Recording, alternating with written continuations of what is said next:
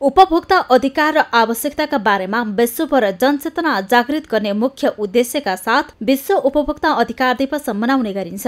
हरेक वर्ष मार्च पन्ध्र तारिकका दिन विभिन्न कार्यक्रम गरी उपभोक्ता दिवस मनाउने प्रचलन छ। सोही अवसरमा मंगलबार नेपाली उपभोक्ताको अधिकारलाई संरक्षण गर्न र सरकारवालाहरूलाई सचेत गराउन नेपालमा पनि उपभोक्ता अधिकार दिवस मनाइएको छ। राष्ट्रिय सभा गृह काठमाडौँमा सुरक्षित र समावेशी विद्युतीय कारोबार उपभोक्ताको अधिकार भन्ने मूल नारासहित उपभोक्ता दिवस मनाइएको हो। संसदीय समिति उपभोक्ता संरक्षण हरेक व्यक्तिलाई आफूलाई आवश्यक पर्ने वस्तु तथा सेवाको खरिद बिक्री गर्ने अधिकार छ। पछिल्लो समय बजारमा पाइने विभिन्न त्यस्ता वस्तु तथा सेवाहरूको खरिद तथा बिक्रीसँगै उपभोक्ता अधिकारका मुद्दा पनि आउने गरेका छन्।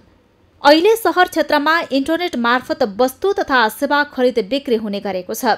तर त्यस्ता कारोबारमा कति गुणस्तरीय छन् भन्ने सवाल पछिल्लो समय पेचिलो बन्दै गएको छ। यता ग्रामीण क्षेत्रका उपभोक्ता भने इन्टरनेट मार्फत हुने कारोबारबाट विमुख छन्। रूपमा देखाउनै पर्छ नि। नदेखायो भने त अलिकति हामीलाई पनि अब फाइनेन्सियली क्राइसिस भइहाल्छ नि। त्यो नदे देखाउनुलाई सबैजना जागरुक भएर हामीले चाहिँ गर्न चाहिँ गर्छौँ। अब त्यो आवाज चाहिँ अहिलेसम्म माथिसम्म पुग्न चाहिँ सकेको छैन। तर तल्लो स्तरसम्म चाहिँ हामी अहिलेसम्म गर्दैछौँ। अब पुग्नलाई अलिक टाइम लाग्छ होला होइन? नेपालको कानुनमा के छ भन्दाखेरि कानुनको पालना छैन। कानुनको पालना छ त छैन नि। जथाभावी नै छ हेर्नुहोस्। अब बेच्दा सामान बेच्न भर्न पनि त्यस्तै हो। आफूलाई चा सामान चाहिएको छ भने चाहिँ टिप्छन् हिँडिहाल्छन् मान्छेले। त्यो हेर्दैन डेट सेट हेर्ने चलन छैन कि। त्यो हुनु पर्यो। बजारमा बिक्रीका लागि राखिएका अखाद्य वस्तुबाट उपभोक्ता ठगिने गरेका छन्। सेवाको नाममा सर्वसाधारण ठगिने गरेको सरकारवालाहरूले बताएका छन्। यस्तै बजारमा गुणस्तरहीन सामान राखेर चर्को मूल्य लिने गरेकाले पनि सर्वसाधारण मारमा पर्ने गरेको उपभोक्ता अधिकार कर्मीहरूले बताएका छन्। प्रचलित नियम र कानुन दिएको अधिकार उपयोग गराएर त्योभन्दा पनि नेपालको संविधान दुई हजार बहत्तरको धारा चौवालिस कले प्रत्येक उपभोक्तालाई गुणस्तरीय वस्तु र सेवा उपयोग अधिकार दिएको छ। त्यो अधिकार उपयोग गर्न पाएको अवस्था छैन। नियम र कानुनको सार्थक र प्रभावकारी कार्यान्वयन गर्ने संविधानले जे कुरा भनेको छ कानुनले जे कुरा गर भनेको छ त्यो कुरा गरिदिएको अवस्था मात्रै भए पनि उपभोक्ता अधिकार सुरक्षित हुन सक्छ। राज्य छ भन्ने महसुस नेपाली जनतालाई छैन। मूल्य वृद्धि बढेको छ।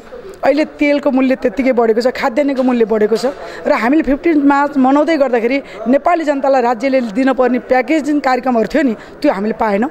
र नेपाली जनतालाई तपाईँको फिफ्टिन मार्च मनाएर चाहिँ तपाईँको खिल्ली उडाएको देखियो आज होइन? यो चाहिँ तपाईँको नेपाली जनताको चाहिँ उत्साहको रूपमा नेपाली उपभोक्ताको चाहिँ एउटा चाहिँ पर्वको रूपमा लिनुपर्ने ठाउँमा पनि तपाईँको यो पर्वको रूपमा नलिकन नेपाली उपभोक्तालाई चाहिँ तपाईँको चाहिँ केही पनि होइन व्यापारी नै सबै थोक हो भन्ने कुरा विभागले पनि गरेको देखियो र नेपाल सरकारले पनि गरेको देखियो। बजारमा हरेक सामग्री खरिदमा उपभोक्ता प्रत्यक्ष वा अप्रत्यक्ष रूपमा ठगिँदै आएका छन्। तर त्यसरी ठगिनबाट बस्न उपभोक्ता समेत सचेत हुन जरुरी छ।